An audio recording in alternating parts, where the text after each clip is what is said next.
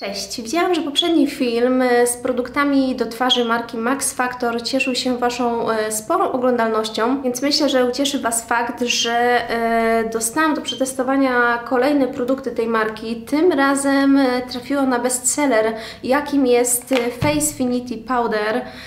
To jest już właściwie myślę, że mogę śmiało powiedzieć kultowy produkt, jeden z bestsellerów w ogóle tej marki. Natomiast obecnie wyszła jego nowa wersja. Poprzednie opakowanie było takie plastikowe i troszkę bardziej matowe. Natomiast teraz jak widzicie mamy tutaj takie e, szklane, szklane włókno, dzięki czemu po prostu opakowanie samo w sobie bez otwierania e, tej puderniczki może nam służyć jako lusterko w ciągu dnia.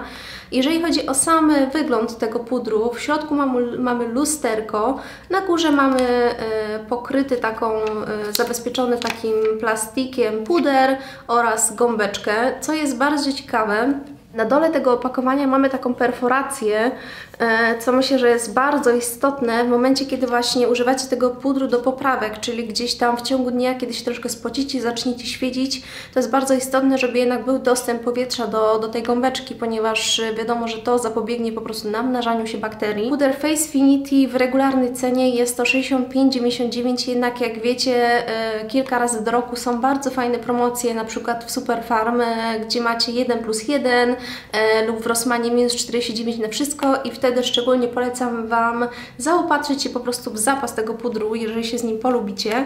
E, wtedy jakby cena to jest tam około 30, 30 kilka złotych e, z groszami, natomiast możecie oczywiście kupić go też w nieco niższej cenie po prostu na, e, gdzieś w drogeriach internetowych. Kolejny aspekt to kolory. Stacjonarnie dostępne są kolory od dwójki do siódemki, przy czym siódemka już jest dość ciemna, gdybyście chcieli jednak e, po prostu zaopatrzyć się w większą, większą rangę kolorystyczną, tutaj mamy przykładowo kolor Ivory, czyli najjaśniejszy z dostępnych stacjonarnie, to właśnie na internecie do dostania jest jeszcze kolor e, porcelanowy, czyli 01. Zaraz sobie zrobimy test, jak ten najjaśniejszy kolor po prostu prezentuje się na mojej cerze i czy będzie on dla mnie odpowiedni, czy będzie musiał poczekać, aż troszeczkę się opalę. Kilka faktów na temat tego pudru. Jest to puder, który określany jest mianem takiego takiego bardzo skondensowanego, gęstego, a co za tym idzie mocno kryjącego.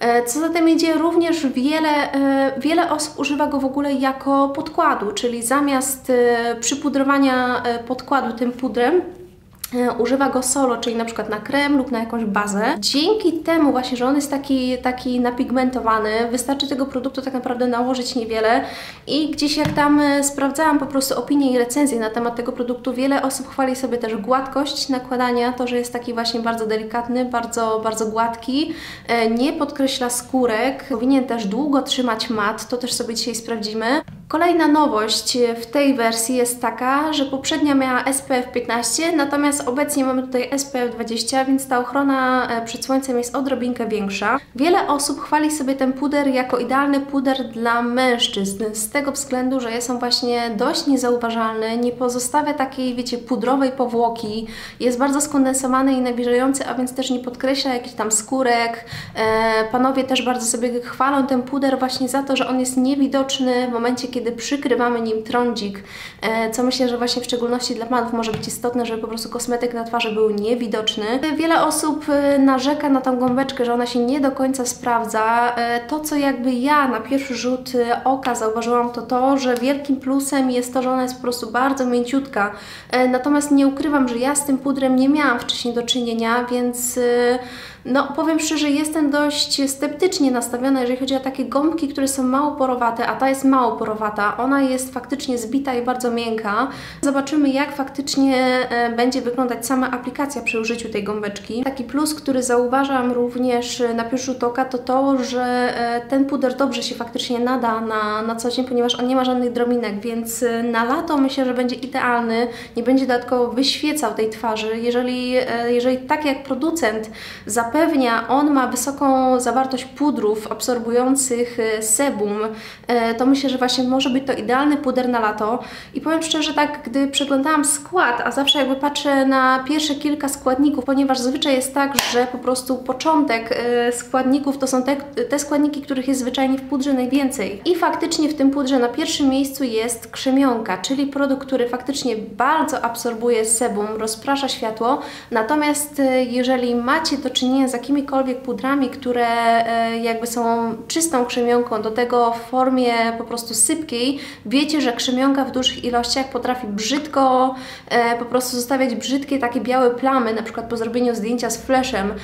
Natomiast nie ukrywam, że jeszcze chyba nie zdarzyło mi się uzyskać takiego efektu białych plam właśnie po pudrze koloryzującym w kompakcie. E, jedyne takie jakieś historie, kiedy faktycznie to światło mi się od, e, od pudrów z krzemionką odbiało, to tylko wtedy, kiedy był to puder sypki i czysty biały, czyli transparentny i ta krzemionka jakby nie była pokryta, wymieszana z jakimś pigmentem. Drugi składnik w tym pudrze jest to talk. E, talk faktycznie zwiększa poślizg, dzięki czemu później możecie mieć takie wrażenie bardzo ładnej, jedwabistej cery i w dotyku, i w wyglądzie, więc jest taki składnik, jakby dzięki któremu wiele osób chwali sobie ten, ten puder. Niestety talk potrafi zapychać, więc jeżeli macie tendencję faktycznie do tego, żeby ta cera Wasza się zapychała, e, talk może być za to szczególnie odpowiedzialny. Kolejny składnik to dwutlenek tytanu. Dwutlenek tytanu to jest po prostu nic innego jak taki e, naturalny filtr przeciwsłoneczny. Bardzo fajnie to światło odbija, dzięki czemu światło nie dociera do naszej skóry. Skóra jest troszkę lepiej e, zwyczajnie chroniona przed światłem. Jak sami widzicie, faktycznie ten SPF został zwiększony, skoro jakby dwutlenek tytanu jest już na trzecim miejscu w składzie. W ten sposób prezentują się słacze, więc jak sami widzicie, kolory są bardzo ciemne. Bardzo mnie to martwi i nie ukrywam to, że ta 02 faktycznie jest bardzo ciemna na mojej dłoni. E, a to oznacza, że zwyczajnie będzie, będzie dla mnie za ciemna, ponieważ ja mniej więcej używam kolorów tak jak e, do twarzy, jak góra mojej dłoni, e, więc skoro na spodzie mojej, mojej ręki po prostu te kolory są tak ciemne, na twarzy też na pewno będą odrobinę za ciemniejsze. Od lewej mamy 02, 03, 05, 06, 07. Wyraźnie też widać, że najładniejszy kolor, jeżeli chodzi o kolory, czyli najbardziej żółty kolor, to jest kolor 06, natomiast kolor 03 też, też jest odrobinkę dosłownie, odrobinkę bardziej żółty. Wiemy już zatem, jak prezentują się słacze. Zobaczymy w takim razie, jak ten najjaśniejszy kolor będzie prezentował się na mojej skórze. E, zatem przetestujemy sobie teraz 002 Ivory. I nie ukrywam, że e, wiąże nieco nadzieję z tym pudrem, że będzie on dla mnie takim zastępstwem podkładu e, nieco na lato. Także e, dokładnie tak samo jak wiele osób zachwala, nałożę ten puder po prostu na nakremowaną twarz, nie będę nakładała żadnego podkładu. Jeżeli on ma faktycznie wystarczające krycie, myślę, że powinno to wystarczyć, żeby zakryć gdzieś tam jakieś moje delikatne zaczerwienienia i pozostałości po krostkach.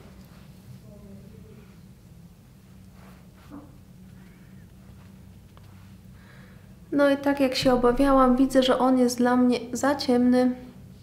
Niestety, więc e, podejrzewam, że gdybym chciała faktycznie używać w zimę tego, e, tego pudru, e, musiałabym sobie po prostu zakupić gdzieś na internecie ten kolor porcelanowy faktycznie mocno matuje i to jest zauważalne. Myślę, że też widzicie, że moja skóra automatycznie przestała się tak świecić.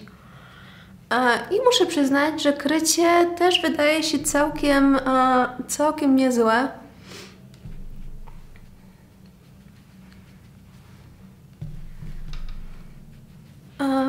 Od razu widać, że skóra jest ujednolicona. Całkiem nieźle radzi sobie e, z moimi przebarwieniami na czole. E, dość szybko je zakrywa. Natomiast w związku z tym, że on jest przyciemny, muszę szczególnie e, teraz sobie tutaj poradzić z linią włosów. Trzeba przyznać, że to nie jest taki, e, wiecie, oliwkowy, beżowy, naturalny kolor, tylko on jest dość taki, dość widoczny jednak na skórze. E, myślę, że zdecydowanie dla mnie w zimę to ten kolor niestety się nie nadaje. Myślę, że on by się dla mnie nadawał w momencie, kiedy byłabym na przykład po kilku wizytach na solarium. E, wtedy też moja cera nabiera takiego troszkę bardziej, wiadomo, pomarańczowego kolorytu i myślę, że wtedy on by się idealnie spasował. E, natomiast to co, to, co jakby muszę przyznać producentowi, to to, że faktycznie tak jak zapewnia o mocnym kryciu, to, to, okrycie, to okrycie jest faktycznie e, bardzo ładne. Przeciągnę sobie też po szyi, żeby się to aż tak strasznie nie odcinało.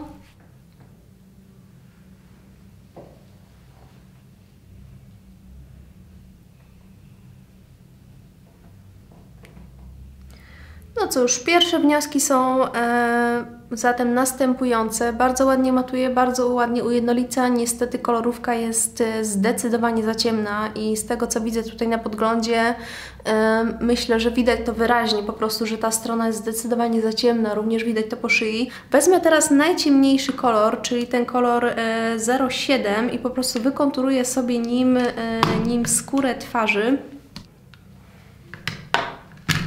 I zobaczmy, czy po prostu nada się to do konturowania.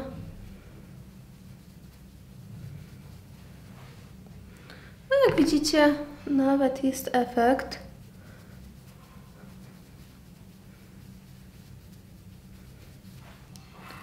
Stosunkowo naturalny, nawet mimo, że ten odcień jest dość ciemny.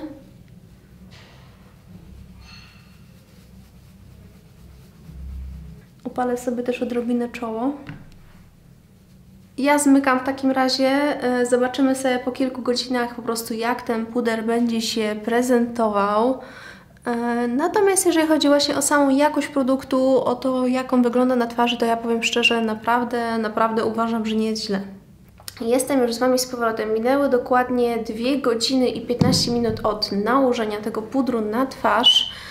E, I co mogę Wam powiedzieć? Wnioski po tych dwóch godzinach są takie, że powiem Wam, że nawet bardziej mi się podoba teraz ten puder niż e, zaraz jak go nałożyłam na twarz. E, na pewno widać po nosie wyraźnie, że już zaczyna gdzieś tam świecenie przebijać. Natomiast muszę Wam powiedzieć, że naprawdę, y, naprawdę uważam, że on wygląda na skórze nieźle. To jest takie wykończenie, które ja lubię, w sensie takie kryjące, ale, mm, ale takie nasycone, nawilżające mimo wszystko. Także to jest zdecydowanie efekt, który mi odpowiada i powiem szczerze, że nawet jak minęło trochę czasu, to y, trochę jakby te, te moje skórki gdzieś tam po prostu na, na policzkach przestały być aż tak widoczne, także, także faktycznie po prostu on się trochę przegryzł, ten, ten puder. Myślę, że on może być spokojnie stosowany jako po prostu jako sam, sam podkład, czyli po prostu na jakiś krem czy na bazę, ponieważ krycie jest naprawdę niezłe. Myślę, że właśnie tylko troszeczkę może ewentualnie na czole sobie dodam, żeby właśnie wzmocnić jeszcze to, to krycie. Natomiast same w sobie jest naprawdę, naprawdę ok. I jak widzicie wystarczy tak naprawdę parę dotknięć gąbeczką i e, już z powrotem mamy zupełnie, zupełnie matową, ale tak wiecie, satynowo matową twarz. Bardzo przyjemny produkt, cena może nie jest najtańsza, natomiast e, myślę, że w promocji już się jak najbardziej opłaca ten e, produkt sobie zakupić. Uważajcie jednak, jak sami widzicie, na kolorówkę, ponieważ jest ona dość ciemna, jak na nasze polskie, słowiańskie skóry. Po jakimś czasie on się zachowuje bardzo ładnie i powiem szczerze, jestem w stanie teraz jak najbardziej zrozumieć, dlaczego panowie tak bardzo lubią ten puder, e, gdyż no ja go praktycznie w ogóle nie widzę na przykład, żeby on mi się osadzał, wiecie, gdzieś na włoskach, na twarzy, na żuchwie, e, co myślę, że jest ogromnym plusem, ponieważ wiadomo, panowie mają sporo zarostu, jednak w tej okolicy, nawet jak są ogoleni, to, to jakby ten puder się osadza na twarzy, e, więc jak najbardziej jestem w stanie zrozumieć, dlaczego właśnie mężczyźni sobie chwalą ten, ten puder. Ja też jestem zadowolona, myślę, że będzie to idealny puder na właśnie na lato. Jeżeli chodzi o mycie gąbeczki, tej, której używałam, byłam ją umyć, jak widzicie, ona zwiększyła jakby swój rozmiar, także troszkę, troszkę jest porowata i troszkę tej wody wchłonęła, natomiast jak widzicie, ona już zmieniła kolor, także bardzo ciężko, mimo że naprawdę się starałam, e, bardzo ciężko było ją tak dobrać zupełnie do białego. Wiadomo, że to jest tylko jakby do własnego, prywatnego użytku, co nie zmienia faktu, że no ja opowiem szczerze, lubię jednak e, puszki do nakładania pudru, ponieważ puszek idzie zawsze zawsze wrzucić do po prostu do pralki i on się dopiera zupełnie na biało.